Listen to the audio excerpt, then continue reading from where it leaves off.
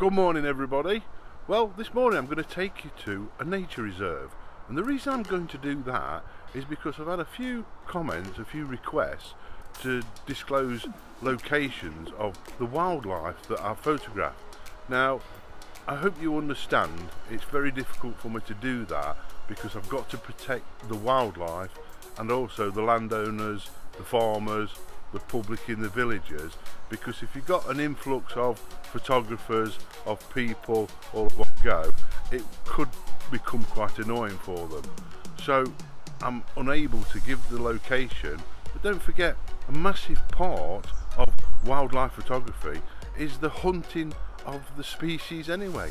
Get a target species and hunt it down and find it and find locations yourself. That's part of the fun. So I don't really want to spoil your fun. But what I've decided to do is go to Old Moor Nature Reserve. It's owned by the RSPB and it's a wonderful reserve but that is designed for public to go to. It's designed for photographers, for birders because they have hides but they also have screens as you walk up to the hide so you're not going to be disturbing any wildlife. So hopefully you'll enjoy this video and um, we'll see what we can get.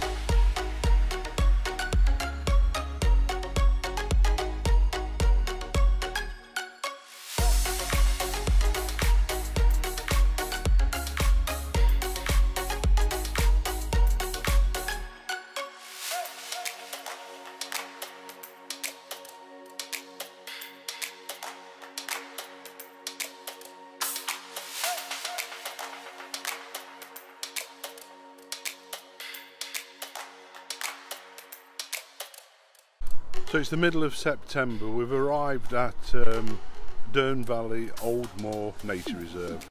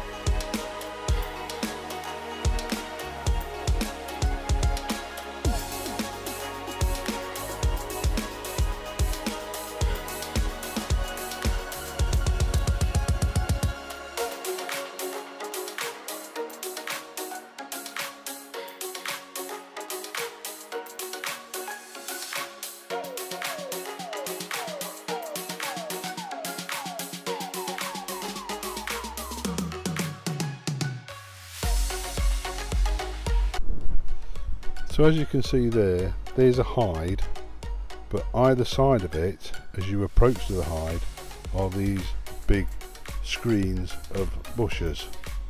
So you're not disturbing the wildlife at all. So you can get down to the hide, both sides are completely covered in.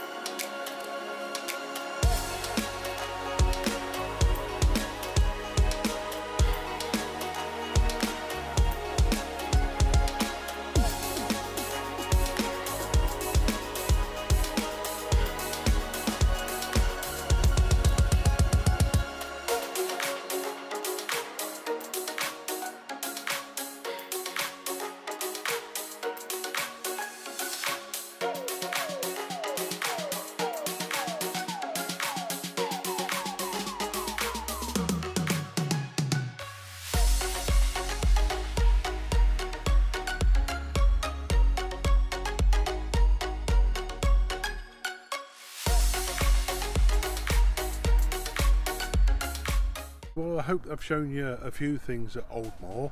It's a really nice reserve. Um, there's plenty to see. You've obviously got to put some time in. Yeah. So that's it for Old Moor today. What I could do now is I'm going to drive up the road about 30 minutes drive to another reserve and that's called Fairburn Ings. So let's see what we can get there. Okay, so that was Old Moor. It is a fabulous day out. As we was coming out in the car park, a sparrow flew straight at me. That's how it goes. Well, we've now arrived at another nature reserve. This one again is run by the RSPB and it's called Fairburn Ings. So let's see what we can go and get here.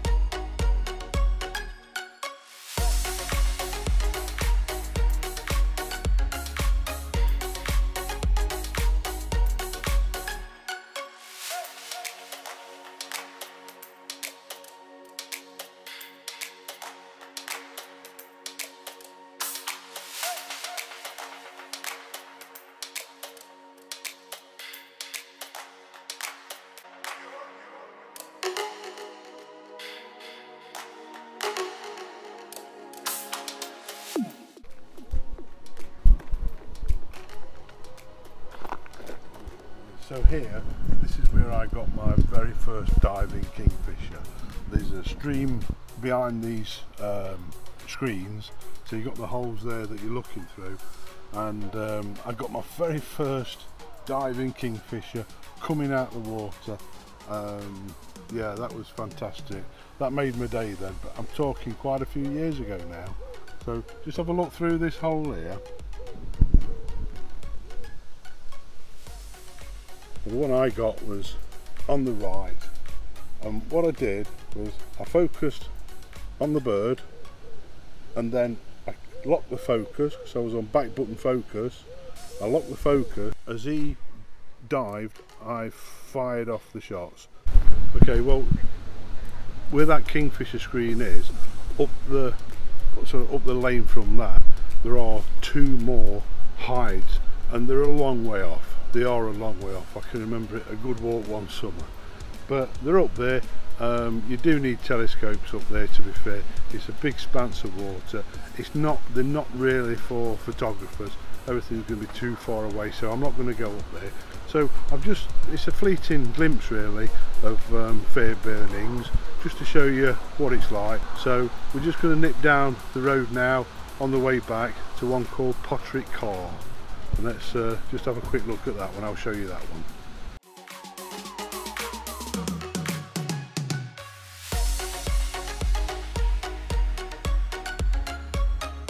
So this is Potterick Carr and this is run by the Yorkshire Wildlife Trust. So we'll have a quick walk around and uh, I'll show you what's the layout here.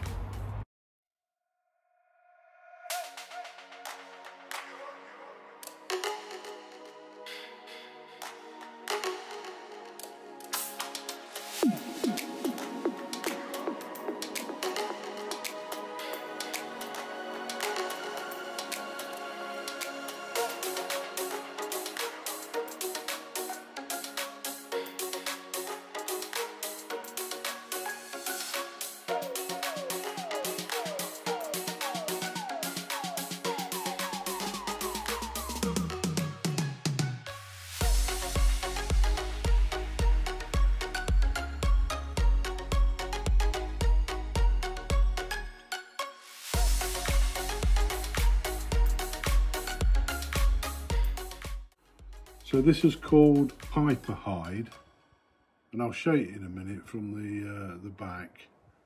Now, as you can see, looking over here, it's absolutely stunning. Absolutely fabulous. And of course, you never know what's going to turn up. As you know, this is just really a fleeting visit for us to show you hot spots and parts of it. Now, you see that little island there to the right, was that, that's a little bank there, and there's, uh, in the past, there's been kingfishers nesting in that bank. And of course, we're far enough away from it to be able to photograph it. If you can see that post, they come and sit on there. And we've often seen a couple of kingfishers over there. Um, I've seen foxes walking around the margins. It is stunning place. I've seen I've seen all sorts here over the years, and I've got very fond memories of it because this is where I started to learn and hone my photographic skills.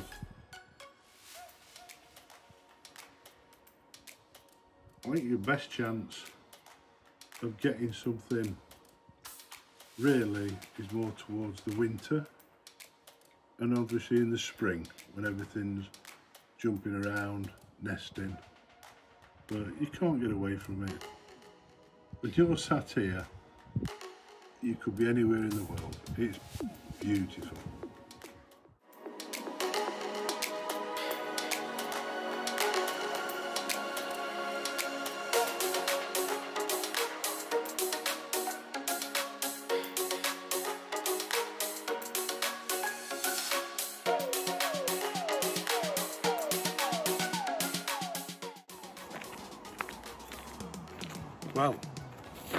I've just had about three quarters of an hour in that hide and it's been absolutely fantastic.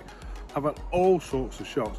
Because the light was behind me, as a swan was coming to me, right, all is all is um, uh, underwing, all lit up. Yeah, I've had some ducks, I've had the heron hunting.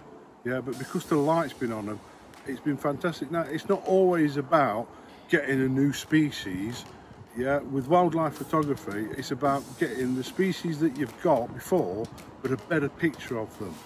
They're doing something different or they're lit differently. So that's what it's about. So i can take pictures all day of species i've already got pictures of but if they're doing something different happy days. That's what i really enjoy. And the reason why i looked at there bit if you just turn to your left on the tree here I thought that was, uh, I didn't, well, I didn't know what that was then, and obviously it's a plastic dragonfly. See, you never know what you're going to get, and you've got your finger over the lens. So that's no good. So you see, you never know what you're going to get. See, you never know what you're going to get. We've even got plastic dragonflies.